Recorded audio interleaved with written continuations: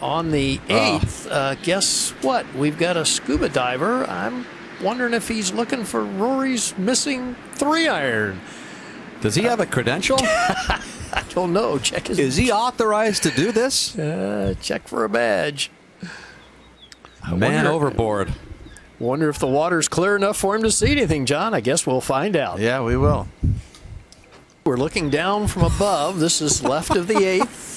Uh, well, well, we have Rory's three iron. Wow, that guy's quick. Underwater treasure He is good. Now there's th- there was two three irons in that lake because Marcel Siem also threw his three iron in that same body of water today, Gary. So Well, but this is Rory's because uh, the grip matches. And there was uh, the scene yesterday afternoon.